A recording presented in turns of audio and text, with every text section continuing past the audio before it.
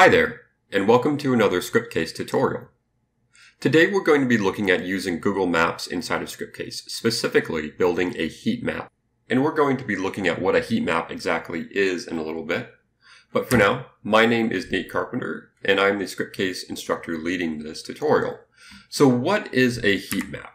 Here's kind of what a heat map looks like in Google Maps. We're going to be building one that looks pretty close to this actually.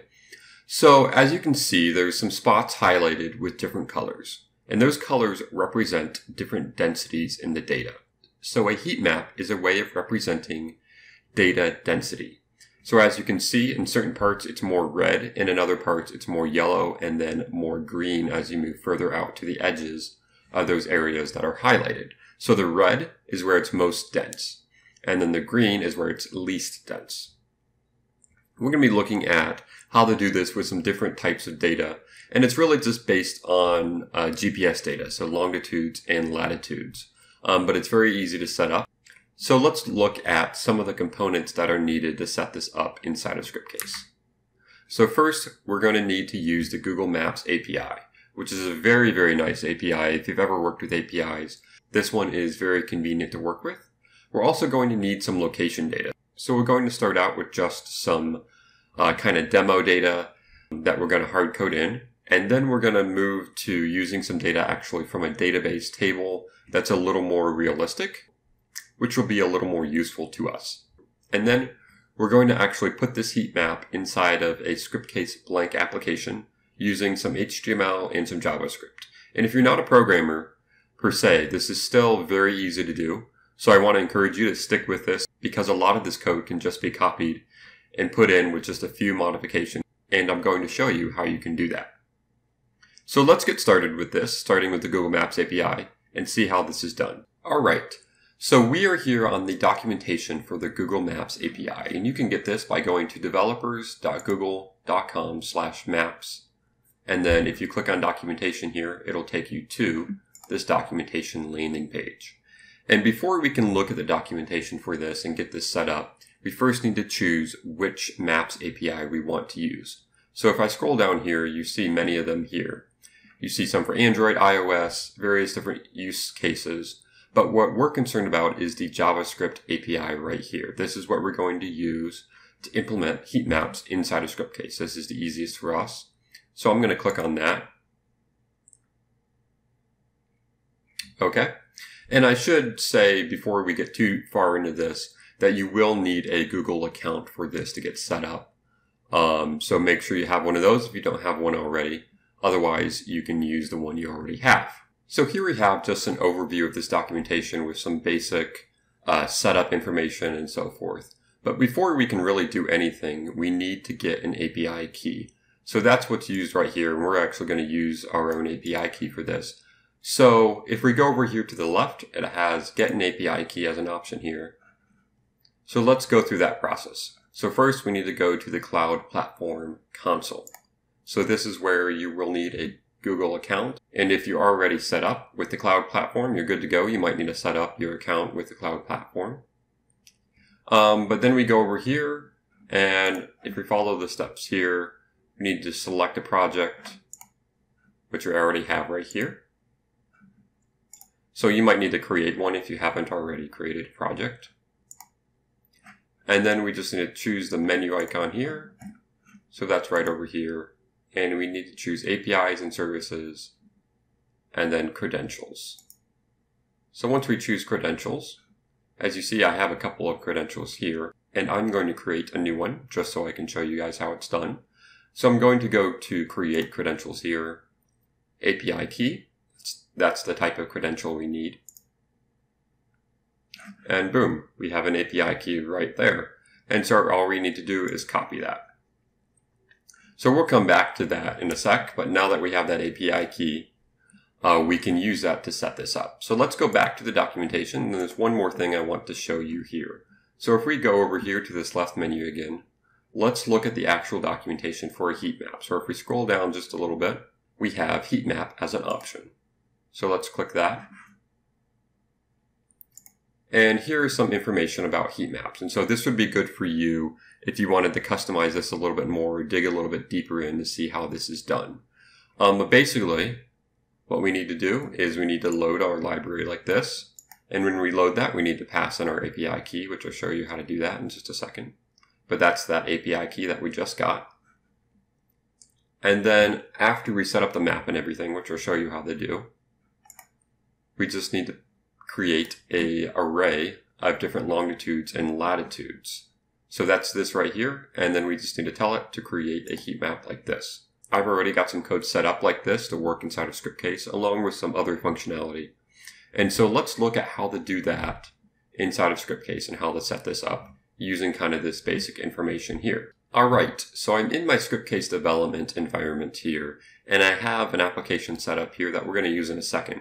Uh, but that's not our actual heat map application. We're going to set that up now from scratch. So we need a blank application, as I said in the intro.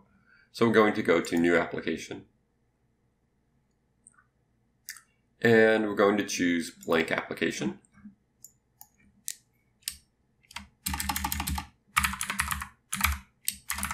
And we're going to name it like so, and click Create.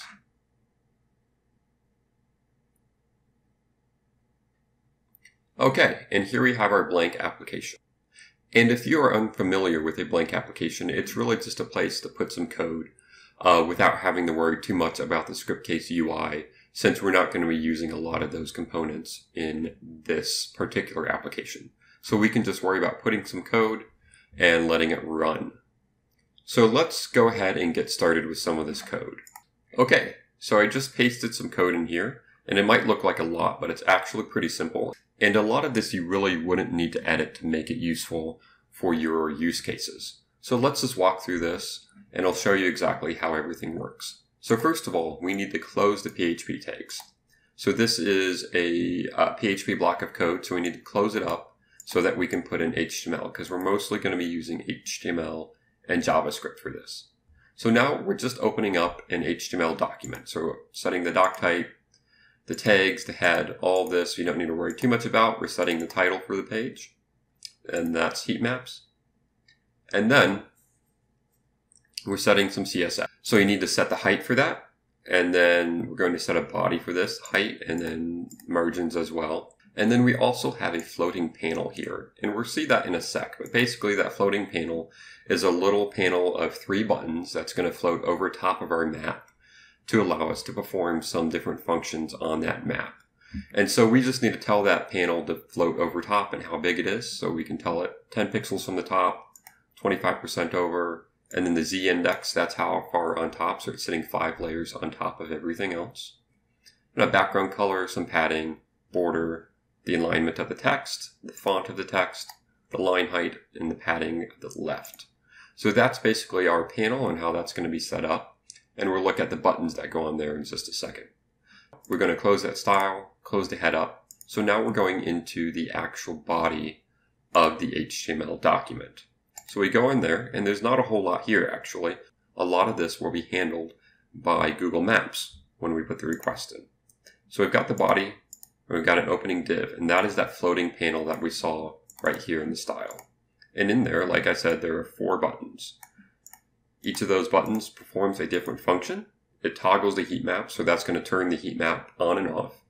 Change the gradient, so that's going to change the colors from a more green color to a more bluish color.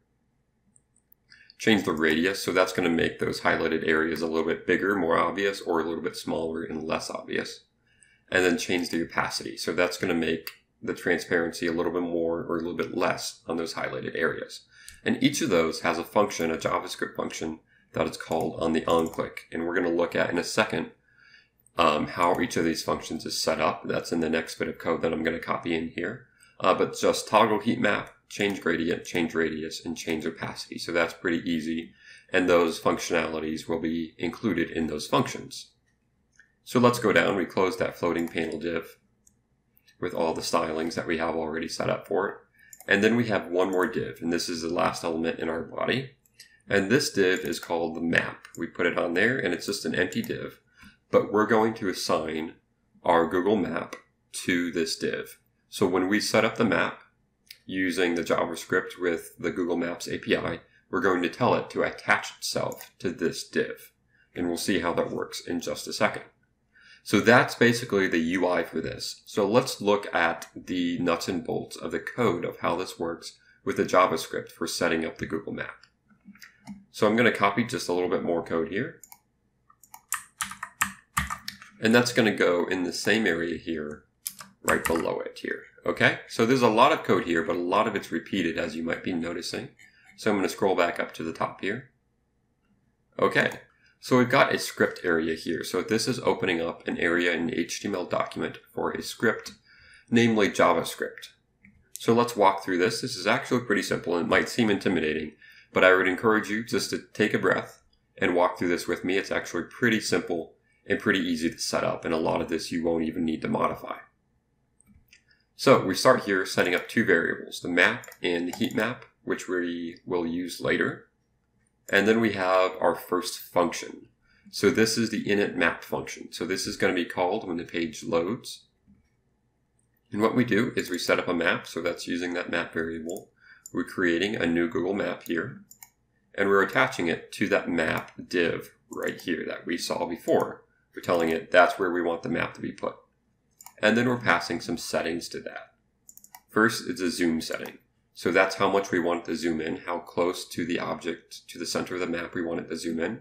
So you can tweak that a little bit if you want it to start further out or start closer in. And then we're telling it where the center of the map is. So when the map loads, it's going to put this specific coordinate here, the longitude and the latitude, in the center. So that's going to kind of tell you where it is. So maybe you want the center to be New York City, or you want to be Chicago, or any specific area on the map. And then we're telling it the map type. So it can be either satellite or a regular map looking thing. And we actually have the option to toggle those on and off.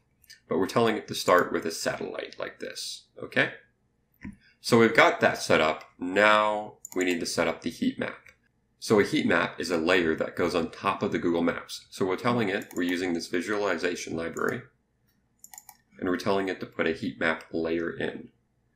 And for that, we're passing it some data. So first, we need to pass it the points. We're going to look at those in just a second. But that's all the data itself. To set up a heat map in Google Maps, we need to pass it a bunch of different coordinates or points on the map, which I mentioned earlier when I showed you the heat map. So those are gonna, this function here is going to return all those points and pass it through to Google Maps. And we'll look at how that function works in a second. And then secondly, we need to pass it the map itself. So this is the map object created using the API. So we just need to pass that through. So it knows, so Google Maps knows what map to attach this layer to. Okay, so now we've got a couple more functions, and these functions are the functions that we saw with our buttons right here. So these get called when we click those buttons. So first we have the toggle heat map. And all we need to do is we need to check if the heat map is on.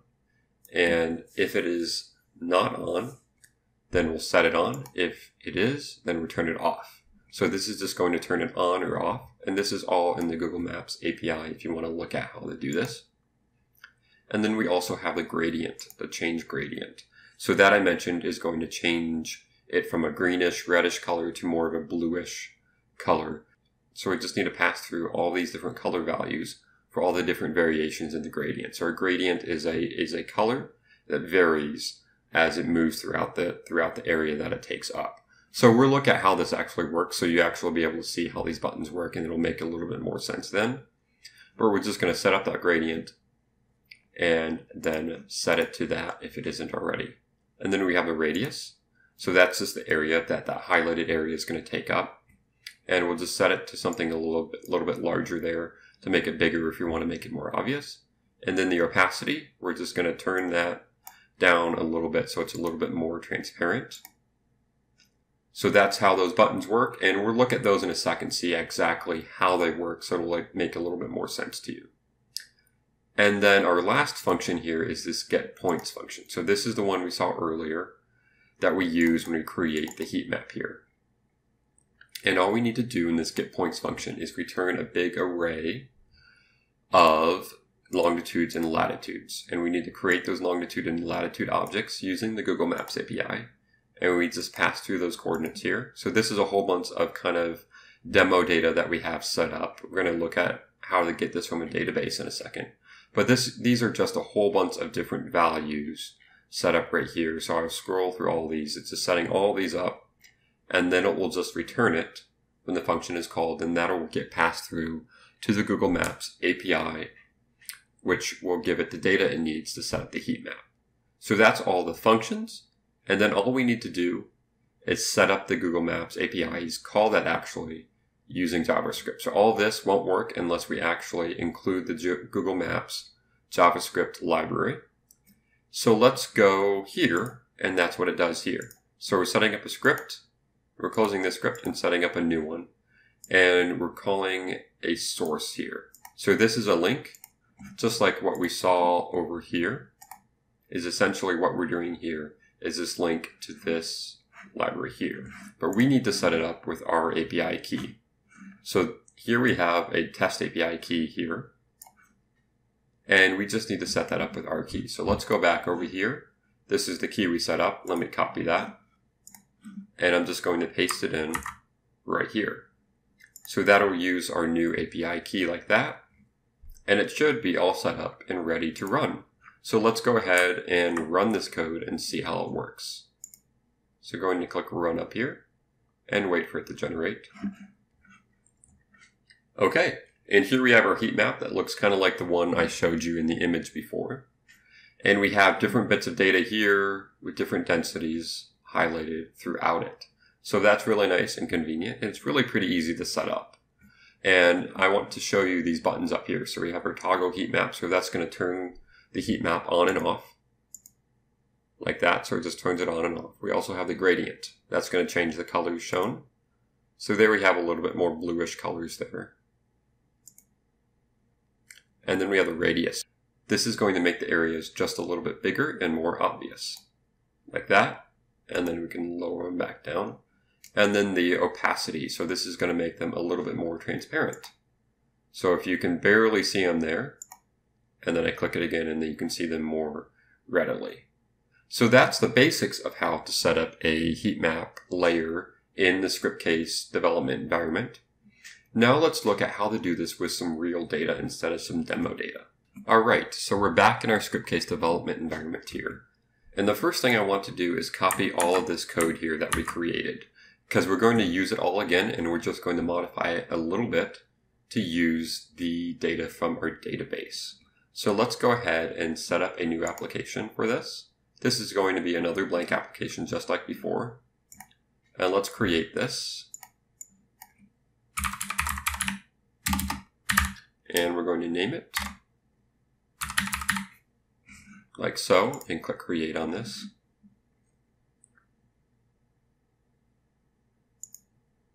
And then let's copy this code in here and we're just going to save it there for now. But right now we need to look at our data that's set up in our database. So we're going to go back to our home tab here. And you might have noticed this form incidents I had set up already. Let's click on that. This is a form, just a very basic form, and I'm just using this to show you the type, type of data that we have set up. So this is connected to a table which has all the database of different um, incidences within a city in Brazil, actually.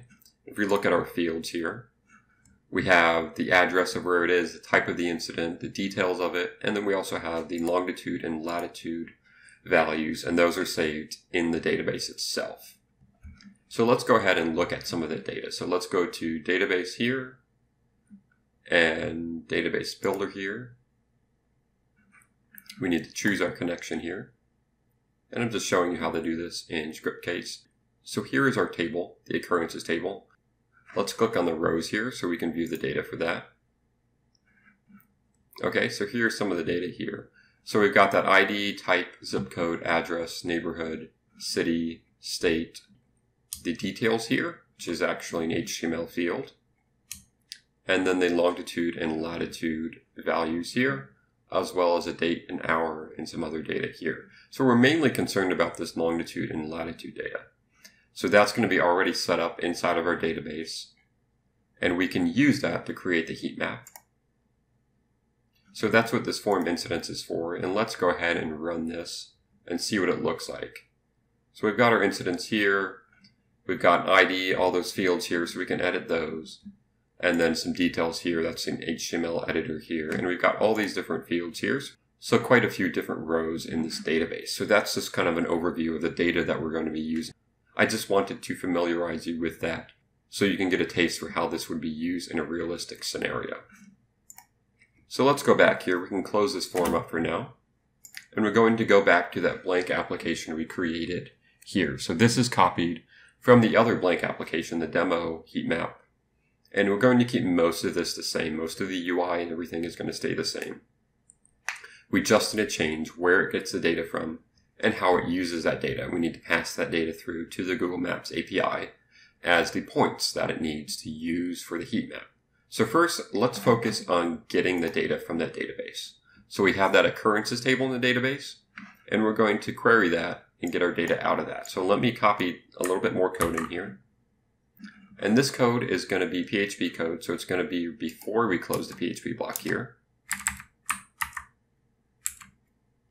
Okay, so here it is. We're running a query on that occurrences table, and we're just selecting the latitude and the longitude fields like that.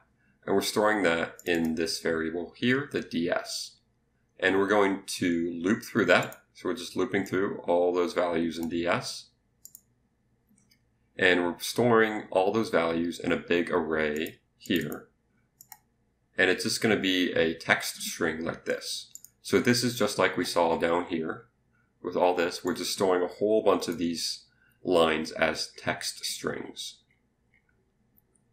with our longitude and latitude values that we got from the table. Then, once we get all of those values out, we can then store them in this result. But we first need to encode it as JSON, because that's what Google Maps is expecting, their API is expecting with JSON. And then we just need to do a little bit of cleaning up of that data. We need to get rid of these extra brackets. So just replace the two opening brackets with a closing bracket and the two closing brackets with a single closing bracket. And then remove any quotations that might be in that string as well. So once that's all set up, this result string will be formatted correctly to pass through directly to Google Maps API instead of all this demo data here. So let's go down here all this will, will remain the same. All we need to do is worry about this get points. So this is where it gets the data to pass through to Google Maps. So we're going to get rid of all of this here. So everything inside of this function we can just remove. So let me just highlight it all here. It just takes a couple seconds because there's a lot of data. And I'm just going to delete that. So now we just have a shell of a function.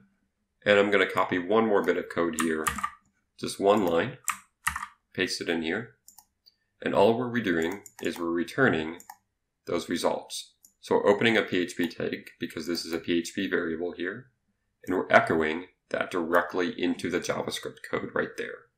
And that's already formatted as, as JSON JavaScript right there. So we're just going to echo it and then close up the PHP tag and then we'll be good. So everything else is going to function exactly the same as before. It's just using that data from our database table. So this should pretty much function as it is set up now. However, this data that we're using is actually from a different area in the world. This is from Brazil this time, a city in Brazil. So we need to tell the map to start in a different place than before. So to do that, we're going to go to the init map function again. And remember, this is where we tell the map how to set up initially. So we're going to tell it the zoom, type of the map and also where the center of the map is going to be on screen. So we're going to give it specific coordinates here that are different. So I'm going to copy some code here. Okay, so here is our new code. Um, and these are just some different settings to initialize the map with. So the zoom is going to be a little bit less than before. And this is where the new center of the map is. So that way when we load this, it'll actually show the area for which the data is relevant to. And then we're changing the map type to a hybrid map, like so. So let's go ahead and run this. This should be all set up and ready to run. So let me just click run on this. So wait for it to generate here. Okay, so here we have a city in Brazil, on the coast of Brazil here. And here we have more realistic data. So this is where different crimes occurred within this city. If we zoom in a little bit, we can see it a little bit better. So here the data is not quite as dense. So we don't see quite as much red. We see a little bit more green, as you can see here. And that's just because the data is not as dense. So we just have green and yellow, but not really any red that you can see. So we zoom out, we can just see a little bit more as we zoom out. And so maybe we're zoomed out now and we want to make this a little bit more obvious. So let's change the radius. And so that makes those areas a little bit bigger as you zoom out. So you can see areas in the city where crime is maybe a little bit higher. And of course, all these buttons still work like before. And then we can also, I didn't show you before, but here we can switch it to a map view like this. And we have those different settings that you might be familiar with if you've used Google Maps before. So that's basically how you set up uh, Google Maps inside of Scriptcase with a heat maps layer. We're going to go one step further and set this up as a whole system, a standalone system that might be useful uh, to your use cases. So we're going to have a menu and we're going to have these different items attached to it. So let's go back here. Let's create a menu application. So new application here. And we're going to choose a menu right here. Name it and click create. And this menu is going to have attached to it the form to edit the data itself, and then also the two different heat maps that we've created.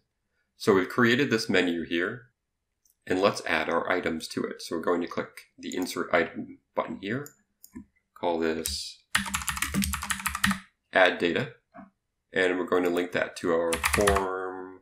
Uh, let me go ahead and click the link here and choose our form incidents here and click import. So that will attach it to our form incidents. And let's add another item.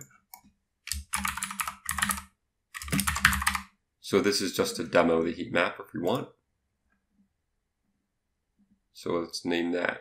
Let's choose our heat map demo here. And then one more item here. This is our actual heat map. Like so. And let's attach that to our heat map data here. Okay, so now we've got our items added to our menu. Let's select a default menu. So if I go ahead and run this here, we don't have anything loaded here. So we're going to go ahead and select something to load here initially. So let's go to settings, And here in settings, we need to choose the initial application. So let's scroll down here. And that is this default application field right here. So right now it's set to blank. Let's choose that as one application. And then let's choose the application we want it to be attached to. We want it to show the data heat map initially. So let's choose that. Okay, so now we run this and it should load this application as the default application. So let's run. It opens it up here, and there is our default application loaded automatically. And if users say, hey, I don't think all the data is here, so they can go back and they can click add data, add some more data, and then that will be reflected on the heat map like so.